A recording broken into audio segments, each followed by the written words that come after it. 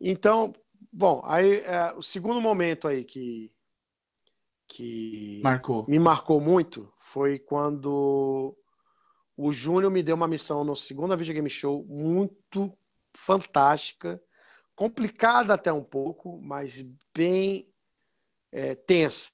Porque além de eu ser coordenador geral no evento, eu fiquei responsável diretamente pelo Pessina, nosso querido mestre Daniel Pessina. Explica pra galera aí quem é o Daniel Pessina.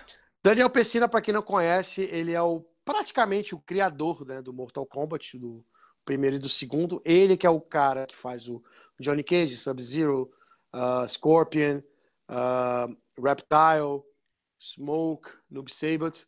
Só que além disso, muitas pessoas não prestam atenção, é que ele é o único lá que era o mestre de ele é realmente ele é um mestre do Kung Fu, mestre das artes marciais.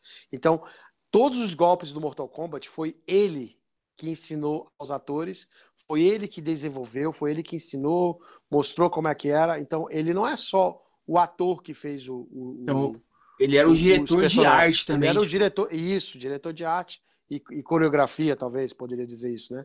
Diretor de coreografia. É, então, ele não é só isso. Então, é, eu fiquei responsável em cuidar dele, tá? E muitas pessoas não sabem que naquela época é, ele tinha acabado de fazer uma cirurgia no joelho. Então, eu tinha que acompanhar ele, ver se Rapaz, ele ele fez, bem. ele fez todo aqueles movimentos do palco com o cirurgia. No Caraca! palco, ele tinha acabado de fazer recentemente uma cirurgia no joelho e ele é um cara assim muito humilde. Ele é um cara assim de bem, é um cara famoso, é um cara famoso, importante, é, é um cara forte assim no, no cenário game retrô, né? A galera nova não conhece muito, não sabe muito, mas eu acho que muitos pais no, no Video Game Show devem ter falado, ah, sabe aquele ninja amarelo? É ele ali, ó. Aquele ninja azul, é ele ali. Sub-Zero amarelo. É, Sub-Zero amarelo. E aí eu fiquei com essa responsabilidade de cuidar de- dele e do Mike Deodato, que é o quadrinista, ele era até então o o único brasileiro quadrinista da Marvel. Então, que baita responsabilidade, né? Cuidar de atra- duas atrações internacionais, apesar do Deodato ser brasileiro, mas ele é uma atração internacional. E o Júnior chegou para mim e falou: Kaká, você vai entrevistar o Pessina no palco. Eu, o quê?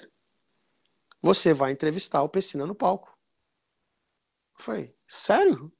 Tipo, sonho realizado, cara. No palco, eu vou ser o centro da atração com o- a atração internacional e ainda vou, vou, vou poder fazer entrevista com o cara, vou cuidar do cara. Então, para mim, o, essa foi a segunda coisa que me marcou muito Não só Nesses você, né? eventos, Pro Mike também, é, né? Mike, ah, o Mike, o dia que o Mike chegou falou, ó, hoje tem reunião. Com quem? Eu falei, eu preciso de você. Aí o Mike chegou pra mim, Kaká, eu tô com contato aqui do Pessina, eu não sei falar inglês direito, eu preciso de você, a gente tem que convencer ele a vir pra Brasília, pra videogame show. Eu falei, ah, cara, desde o primeiro dia que eu conheci o Pessina, ele sempre, a- a- sempre nos cativou muito. Ele dormiu E- na sua casa? Como é que foi Não, ele não dormiu na minha casa. Aí agora vamos para a terceira parte de, de, de, de carinho, de que me marcou, é, ainda envolvendo a Videogame Show, por isso que eu vou falar que é considerado um evento. O Pessina tinha sido, depois que a- nós abrimos as portas para o Pessina na América do Sul, né? Que isso é fato. O primeiro lugar que ele viajou fora dos Estados Unidos para fazer um, uma apresentação foi, foi a- o nosso evento, foi a Videogame Show. E aí depois abriu as portas, né, para ir para Colômbia, para o Chile. E aí a Brasil Game Show no ano seguinte chamou ele, né, para ir. E eu não sei se você sabia disso. O Pessina era era a minha semana, era a minha semana de aniversário. O Pessina acabou o evento na, na Brasil Game Show. Não, sabia que era sua semana de aniversário. Até te parabenizei, Ele- te dei um abraço apertado. Ele veio, saiu da BGS, veio para Brasília para comemorar o meu aniversário comigo.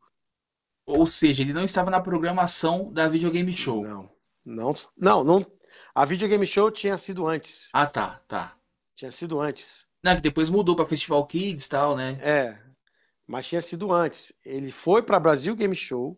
Ele podia ter ido muito bem para casa, mas ele chegou, falou para o Mike e para o Jorge, Jorge Henriques.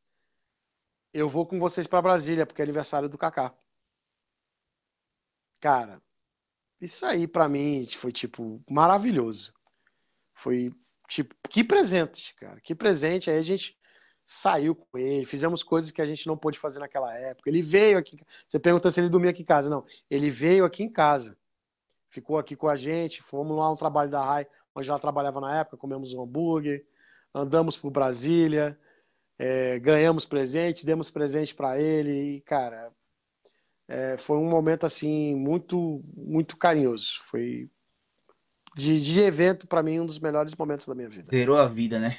Zerei. Yeah.